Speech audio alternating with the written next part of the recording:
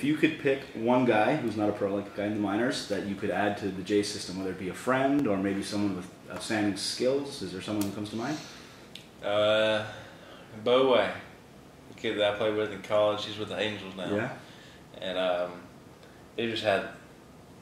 I hope he don't hear us, but he went. I mean, he wasn't the most athletic. Yeah. Average speed, decent arm, skinny, had decent power, but that sucker played his heart out. Yeah. Yeah. Heart and soul guy, yeah? Yep, great guy. Um, just showed up every day, ready to play, ready to go, and yeah, I love playing with him. You need those glue guys sometimes, Yes, right? yes, a Yeah, great, yeah. great club out, just all around great guy.